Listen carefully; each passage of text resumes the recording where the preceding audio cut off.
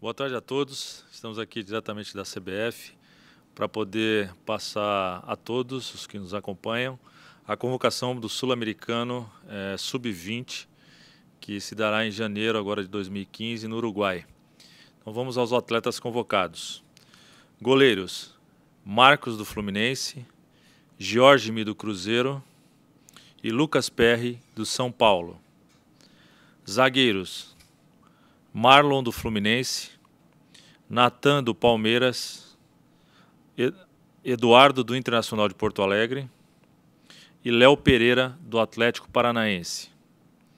Laterais: Auro do São Paulo, João Pedro do Palmeiras, Caju do Santos e Lohan do Vasco da Gama.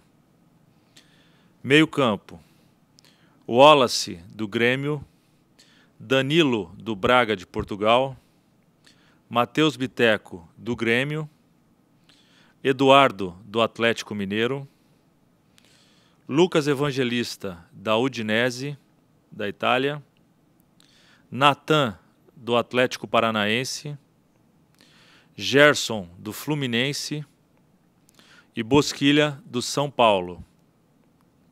Atacantes: Carlos do Atlético Mineiro, Otávio do Porto de Portugal, Gabriel do Santos, Marcos Guilherme do Atlético Paranaense, Kennedy do Fluminense, Thales do Vasco da Gama, Yuri do Botafogo. E Malcolm do Corinthians.